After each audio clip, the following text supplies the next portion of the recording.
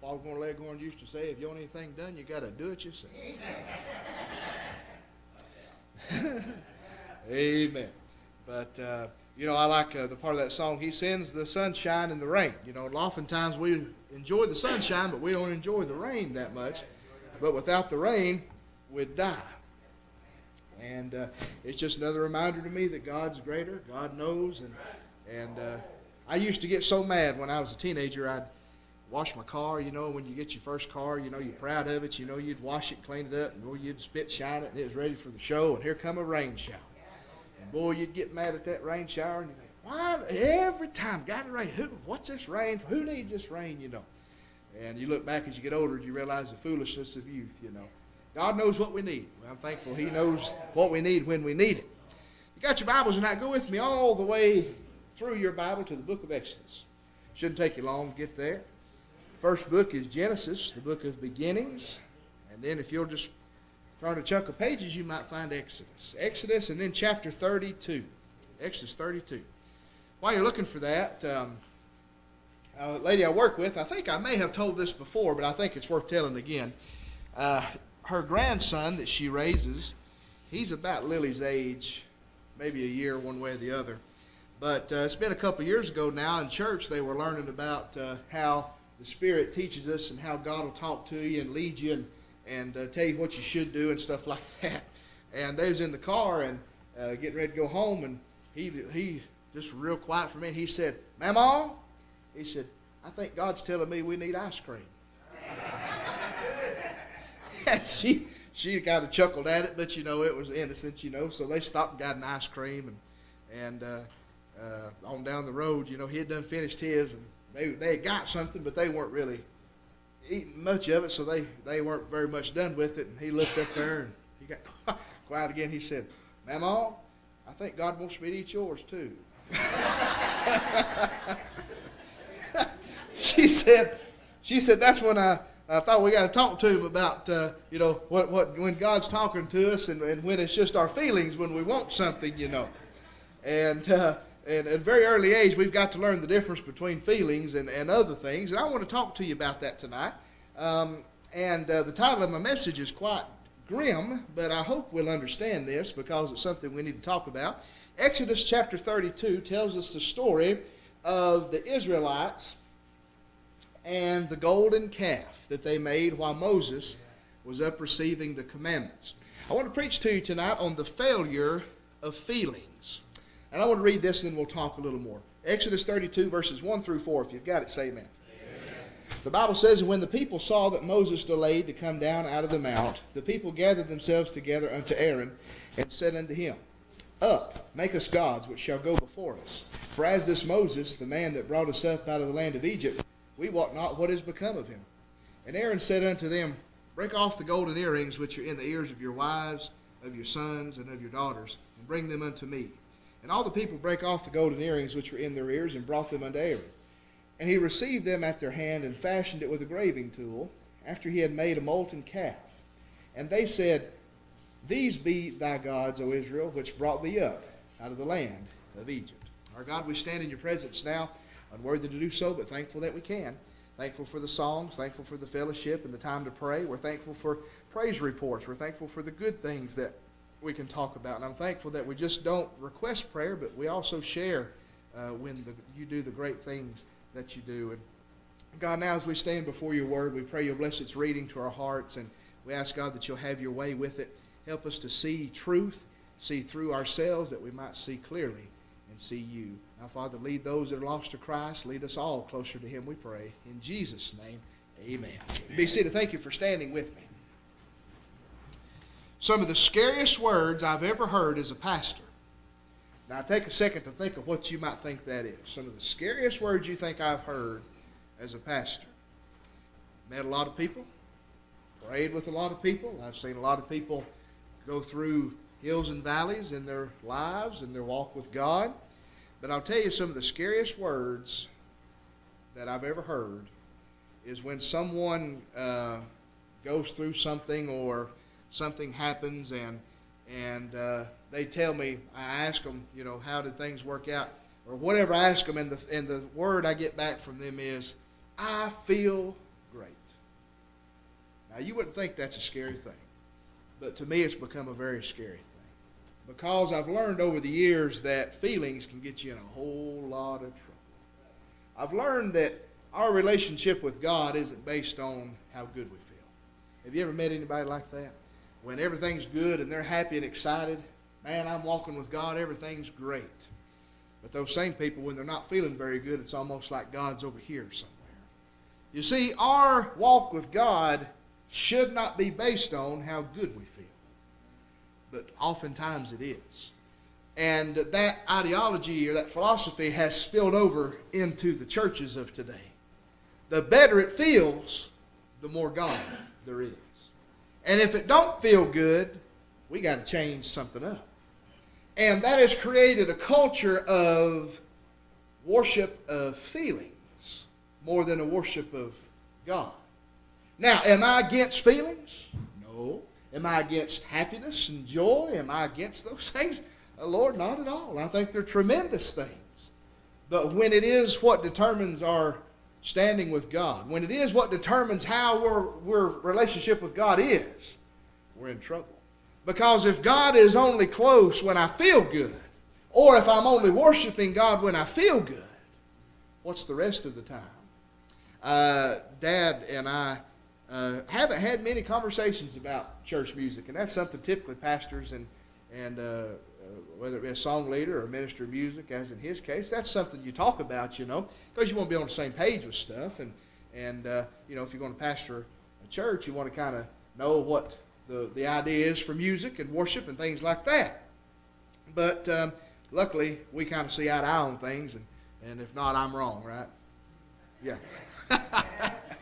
You just can't tell your father he's wrong, I don't guess, you know. Bible says honor your father and your mother, and I guess I'll probably get in trouble somewhere.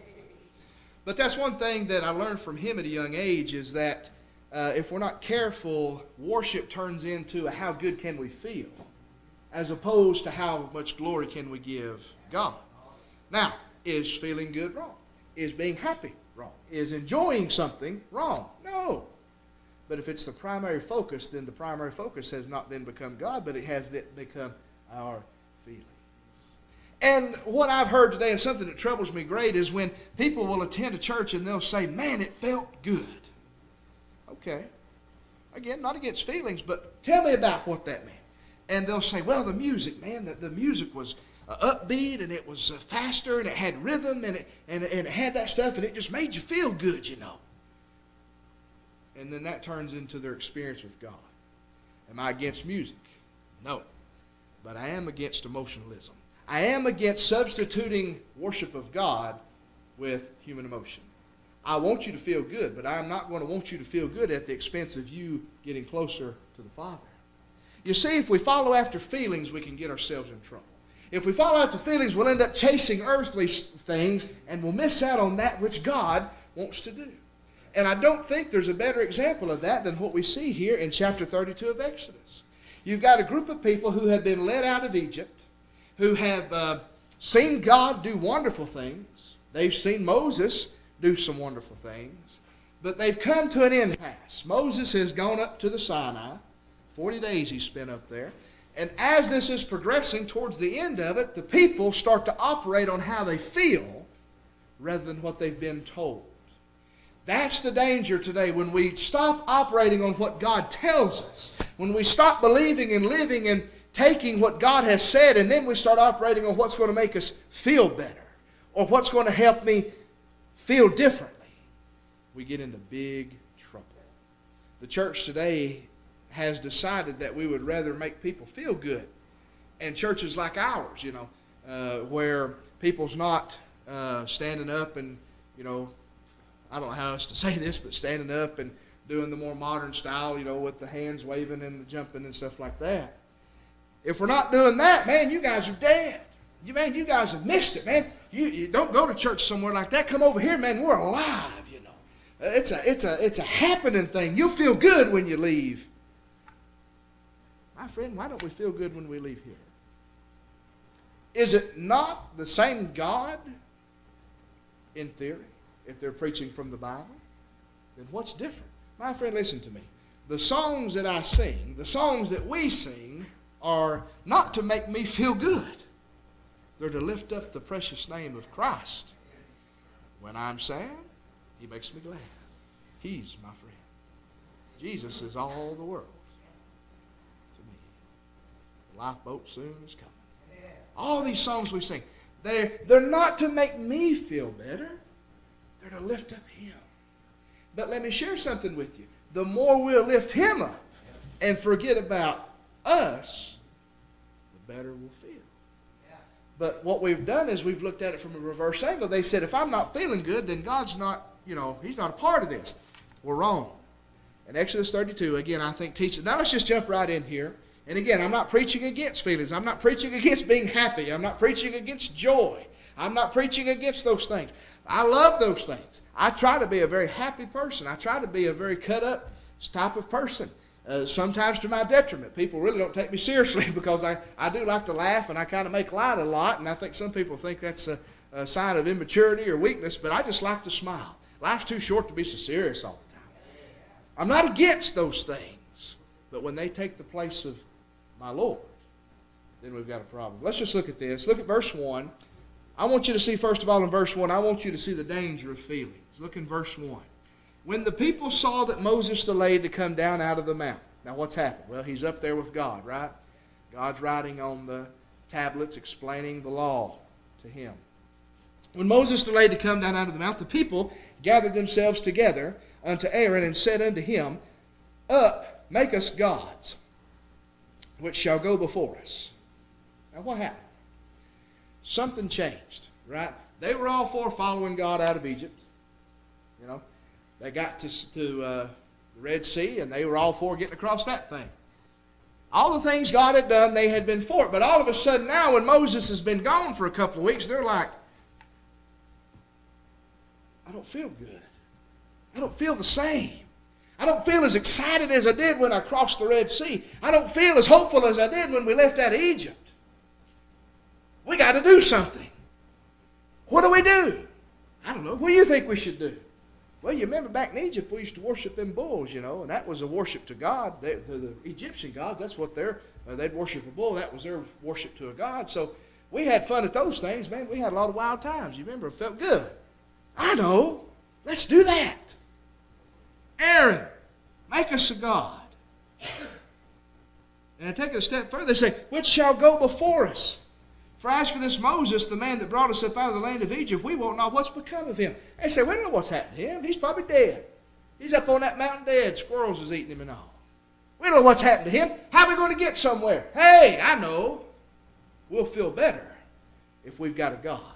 We'll feel better if we've got something we can see. We'll feel better if we have something familiar, Aaron. So make us a God. And you think Aaron would have stood up and said, No. My brother knows what he's doing. My brother's with the Lord. Don't you hear the thunderings? Don't you see the quaking of the mountain? God's still there. God's still there. Moses is still there. They're having a talk. Moses will be back.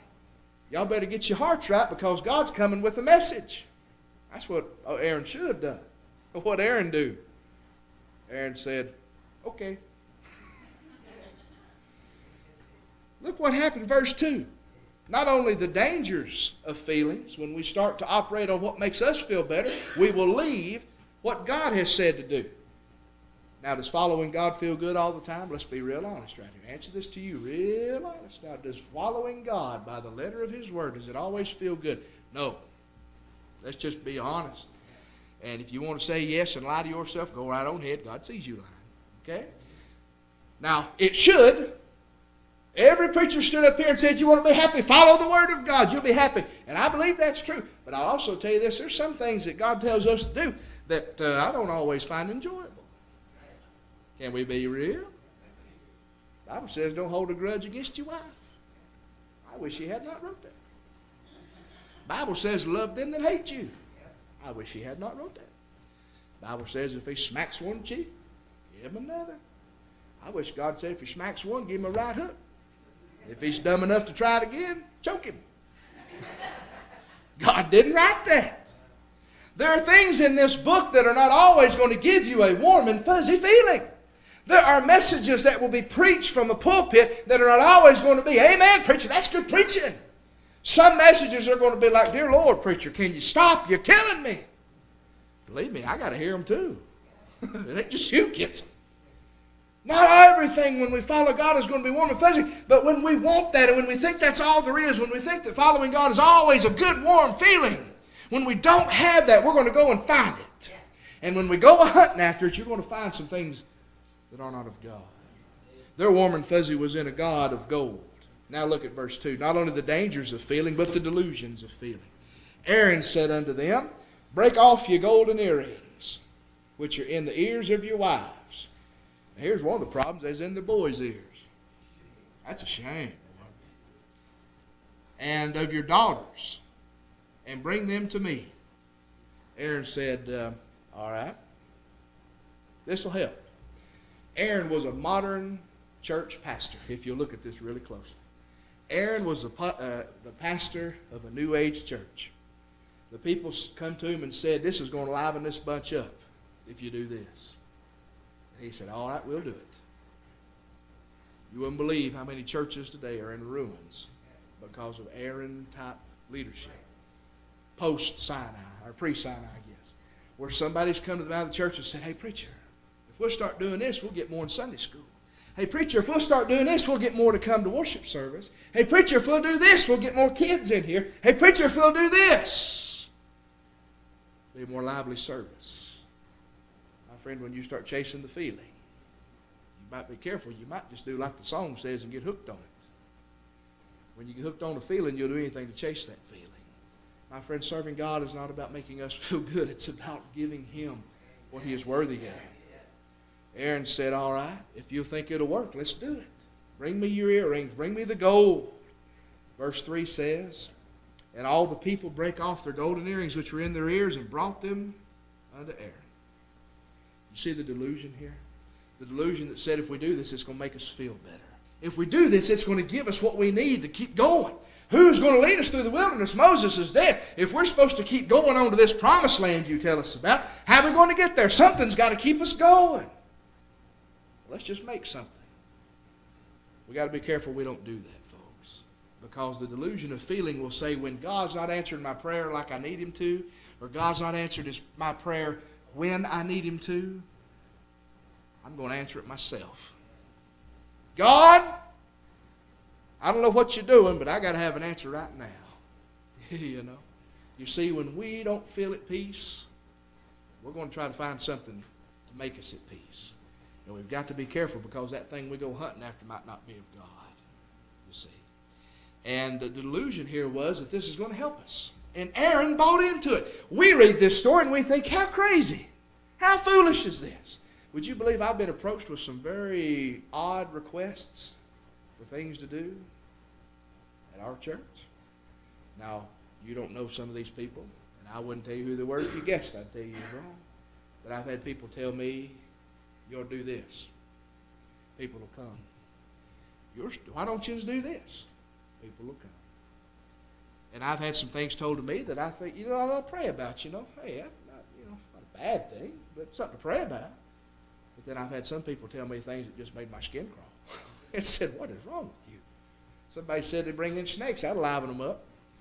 Amen. Lock the doors, boys. Here we go. You know. Rest assured, if there's a snake in the yard on this 14 acres, I'm out of here, boys. It's on your own. I hate those things. But the delusion is that it's going to make us feel better. My friend, listen to me. There is nothing that's going to make you feel better outside of God, outside of Christ. That is what's going to make you feel better. And if there is uneasiness in here, don't go out there trying to satisfy that. Let God be God. Just wait. All Israel had to do was wait. As I see this story as it unfolds, God's almost done with Moses. Because right after all this happens, God tells Moses, hey, they've corrupted themselves. You better get down there. So that tells me that an encounter between God and Moses was at, a, at, at its end. All they had to do was wait a few more days. Maybe a few hours for all I know. But they got uneasy. They got antsy. They got tired of waiting on God, so I'm going to do something myself. I'm going to make me feel better. Folks, listen, that's the delusion of feeling. Just because something makes you feel good doesn't mean it's right. Drugs make you feel good. That don't make them right. Go talk to the man that's hooked on them. Go talk to the woman who lost everything over them. They don't. They'll make you feel good. But oh, the damage. Oh, the torture. The delusion of feeling. Just because it feels good doesn't mean it's right. Now, danger and the delusion, I want you to see the devastation feelings. Look at verse 4. And uh, he, Aaron, received them at their hand, and he fashioned it with a graving tool after he had made it a molten calf. And they said, These be our gods, O Israel, which brought thee up out of the land of Egypt. Isn't that? Now God brought them out. They prayed for 432 years for God to deliver them out of Egypt. God raises up a son by the name of Moses. Moses comes, stands toe to toe with Pharaoh. They're set free. God answered a prayer 400 years. They got to a sea, and God parted it. He sent 10 plagues. All the miracles. And they make that calf and they say, This is what got us out. This is what helped me. This is what made me feel victorious. This is what helped me in my time of need. Not Moses. Yes. And boy, we'll shake our heads at that. And I shake my head at it because it seems un- unfathomable. But my friend, it's as real today as it's ever been. God plus something equals happiness. God plus nothing. Okay? It's devastating. Now, if you continue to read on, I'm not going to read it. I hope maybe you'll read it if you just to refresh your memory.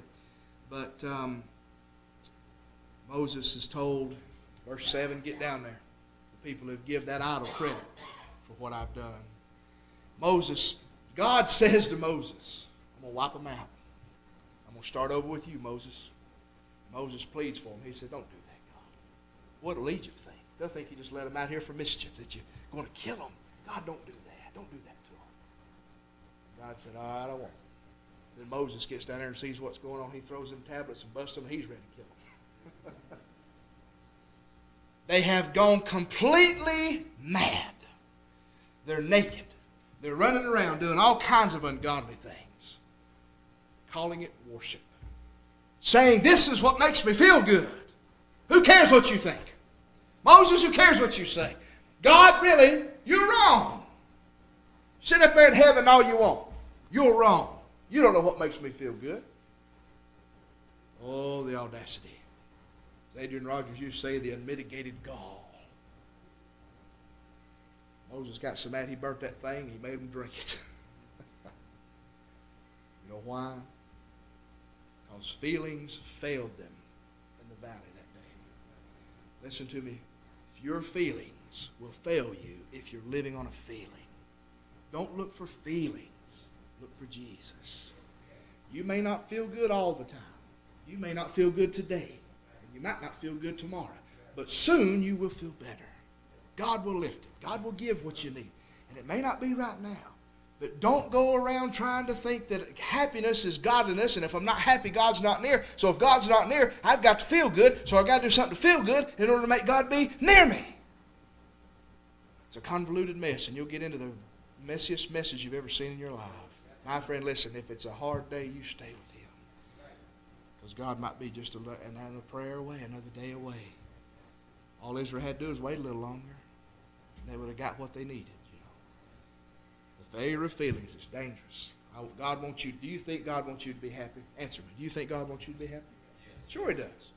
I told you that verse this morning. You think God enjoys your misery? Answer. You think God enjoys your misery? You think God's up there smiling, so that's what you get? no. But I told you this morning, and I'll tell you again, it's God's plan. You see.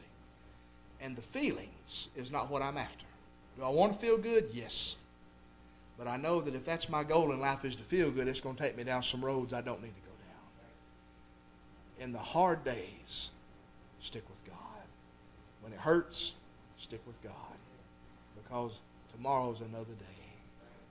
weeping might endure for a night, but the joy comes in the morning. Amen. So, don't chase feelings. If you're not feeling good, don't chase after things that's going to make it worse.